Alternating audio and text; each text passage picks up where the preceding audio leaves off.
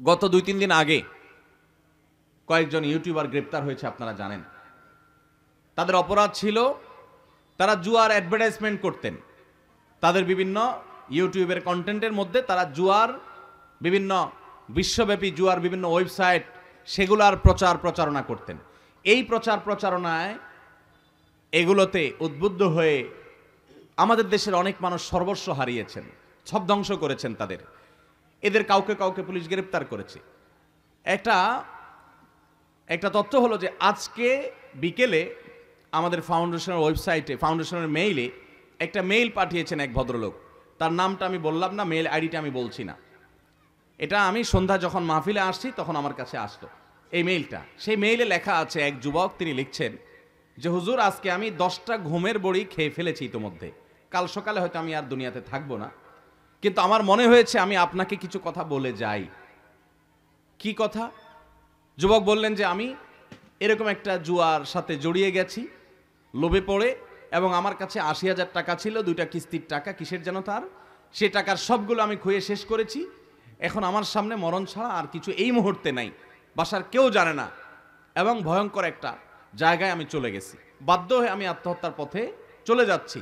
তো আপনার মাধ্যমে আমি এই বার্তাটা দিতে চাই আমি যেরকম শেষ হয়ে গেলাম, কেউ যেন শেষের পথে না আসে। আমাদের যুবকরা যেন, আমাদের সমাজের কোনো মানুষ যেন এই পথে না আসে, এটা ধ্বংস করে দেয় মানুষকে। সে একটা লম্বা চিঠি লিখেছে। এবং সে চিঠি, এই মেইল পুরোটা আমি পড়েছি, চোখের পানি আমার ছলছল করেছে।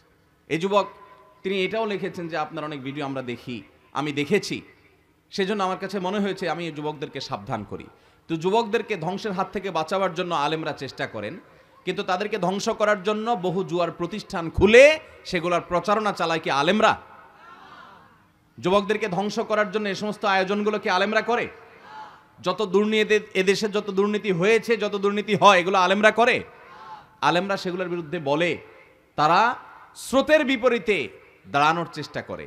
অতএব এতে যতটুকু কাজ হয়, আলহামদুলিল্লাহ, যদি কাজ কমও হয়, আল্লাহর কাছে ওলামারা যদি এখলাসের সাথে কাজ করেন ইনশাল্লাহ তারা আল্লাহর কাছে বিনিময় লাভ করবেন এবং উত্তম বিনিময় পাবেন। আল্লাহ তালা আমাদের যুবকদেরকে ধ্বংসের হাত থেকে বাঁচার তৌফিক দান করুন। আল্লাহ তালা কোরআনে জুয়াকে হারাম করেছেন, মাদককে হারাম করেছেন, বিবাহ বহির্ভূত সম্পর্ককে আল্লাহ তালা হারাম করেছেন। কেন করেছেন? এগুলো আমাদের বুঝে আসে না। আমাদের জুয়ার সাথে নিজেদেরকে জড়াতে ভালো লাগে, আমাদের পরনারীতে আসক্ত হতে ভালো লাগে, আমাদের হারামে লিপ্ত হতে ভালো লাগে, আল্লাহ তালা সেগুলো নিষেধ করেছেন। আল্লাহর নিষেধাজ্ঞা ওইটা অমান্য করলে যে ক্ষতি হয় এটা বুঝতে বুঝতে অনেকে শেষ প্রান্তে চলে যায়। এই যুবক তার জীবনের শেষ পর্যায়ে এসে নিজের ধ্বংস ডেকে এনে তারপরে তিনি বুঝতে পেরেছেন যে তিনি ভুল পথে চলে গেছেন। আল্লাহর নিষিদ্ধ পথে কোনো শান্তি নাই, সুখ নাই, কল্যাণ নাই, এটা তিনি বুঝতে পেরেছেন। কিন্তু যতক্ষণে তিনি বুঝতে পেরেছেন, তখন হয়তো তার ব্যাক করার সুযোগ পান নাই। আমরা যাই না এ আল্লাহর বান্দাকে বেঁচে আছেন না দুনিয়া থেকে চলে গেছেন। আল্লাহ তালা আমাদের যুবকদেরকে হেফাজত করুন। আমাদের সমাজের প্রত্যেকটা মানুষকে আল্লাহ তালা হেফাজত করুন।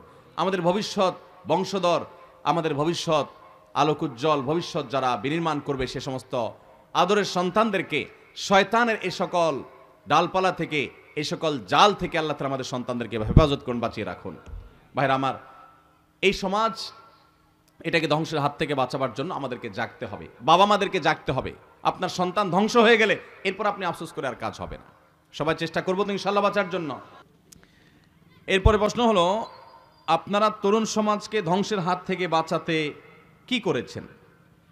আমাদেরকে অনেকে প্রশ্ন করে যে আপনারা এত আজ মাহফিল করেন, এত আজ নসিহত করেন, মসজিদের মেম্বার থেকে এত কথা বলেন, কই আমাদের সমাজের মানুষকে খারাপের হাত থেকে তো আপনারা বাঁচাতে পারলেন না। আমরা সেসব ভাইদেরকে বিনয়ের সাথে বলতে চাই। বিশেষ করে তরুণদের কথা যেহেতু আসছে, তরুণদেরকে ধ্বংস করার জন্য শত শত ব্যবস্থা সারা দেশে, সারা দুনিয়াতে করা হয়েছে। তাদেরকে ধ্বংস করবার জন্য। ওলামা একরাম তাদেরকে টেনে টেনে জাহান্নামের হাত থেকে, ধ্বংসের হাত থেকে বাঁচাবার জন্য চেষ্টা করছেন। আমরা চেষ্টা করে যদি এক ডিগ্রি তাদেরকে ধ্বংস করার জন্য চেষ্টা করা হয়, তার চাইতে কয়েক গুণ বেশি ডিগ্রি। তারা কীভাবে বাঁচবে? এই যে মাদকের কথা বলুন। মাদকের বিরুদ্ধে ওলামা একরাম এদেশে প্রতিটা জায়গা থেকে কথা বলে যাচ্ছেন। যৌতুকের বিরুদ্ধে, যৌতুক এদেশ থেকে যতটুকু বিদায় হয়েছে, তার সবটুকু অবদান এদেশের আলেম সমাজের।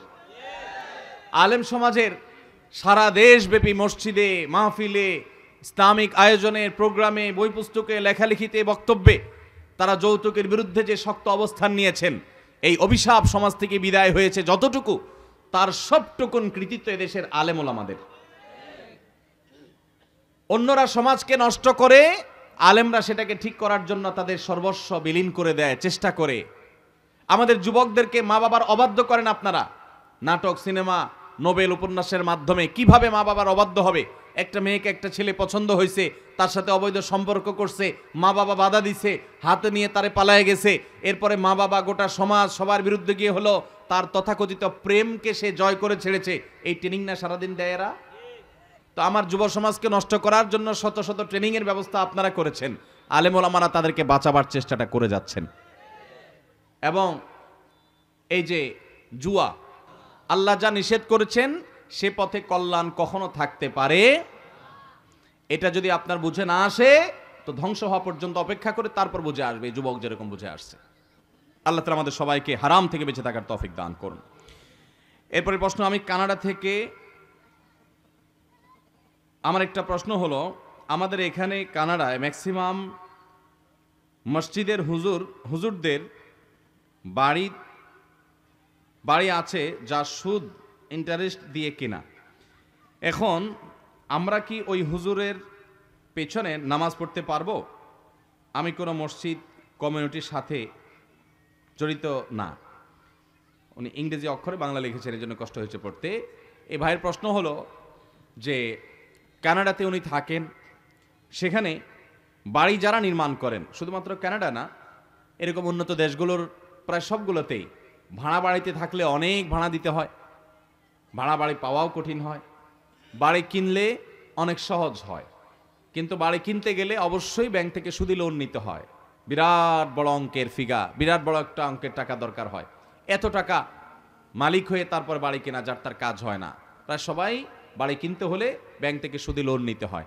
এরপরে তার বাড়ি মালিক হওয়াটা সহজ হয়।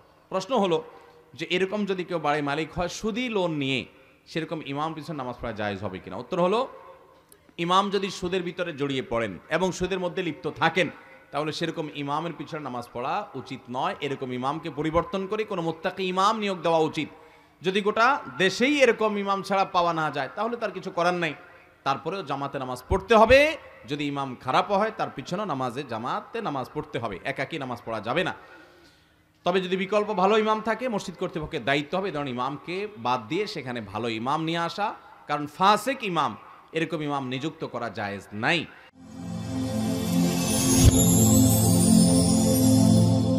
Rose TV 24. Enjoy by listening to the Holy Quran.